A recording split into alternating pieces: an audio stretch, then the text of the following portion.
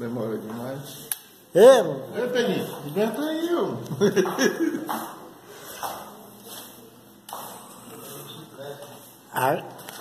Agora saiu.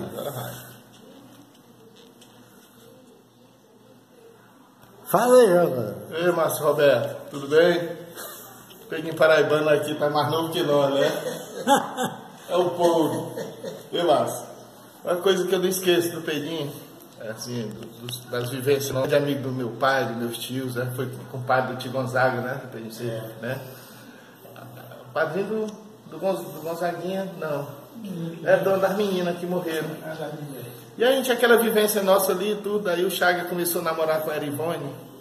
E aquele auge, o crediário, tinha uns carros, tudo. Rapaz, chegar lá, era qualquer carro que quisesse, nós pulava dentro e abria no. Aí o Chaga arrumou uma pra gente ir lá pro, pra Ramada, arroz ali, na, propriedade do seu Libano, pai do Ramiro, do Maninho. Aí o Rumão, andando mais nós, o Rumãozinho. Aí o Edgar, eu, o Chaga e o neto do Raimundão. E o neto, filho do Raimundão, né? Não precisa nem dizer. Quando nós chegamos lá, inclusive eu encontrei o neto esses dias lá na casa. Vem pra cá, já, para de balançar aí. Fui almoçar na casa do Ramudinho, quando eu cheguei lá, tava lá o neto. Logo que eu falei pra ele, neto, o vialejo, ele disse, rapaz, tava contando outro. Aí o Ramudinho, o que que foi? Eu disse, rapaz, nós chegamos lá, aí a turma era o Pedrinho Paraibano, o, finado Mãozinha, o Pedro Dorico, aquela pedra lá. E o Pedrinho pegou a Curimavá, rapaz, das primeiras, se datou.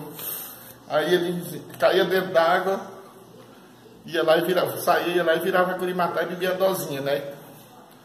Aí o mãozinha saiu, quando saiu o Pedrinho rasgou lá de dentro. Pai, dá uma viradinha aí no meu peixe. E eu vinha na frente, eu escutei, né? Aí foi lá e nós olhando eles dando tarra- tarrafa, jogando tarrafa tal, e o enganche, dentro da água.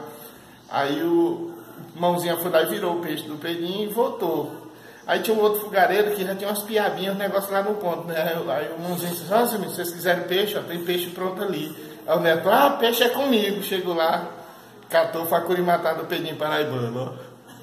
E o Pedrinho saiu lá de dentro, assim, agora eu vou lá fora, tomar uma dosinha daquela e comer minha curimatá. Quando chegou lá, o neto tava acabando de tocar o vialejo, ele já tinha dado a primeira pra cá, aí virou. Quando ele foi dando a segunda, aí o Pedrinho olhou aí, citou a famosa, famosa frase do Serrotão, come, onça!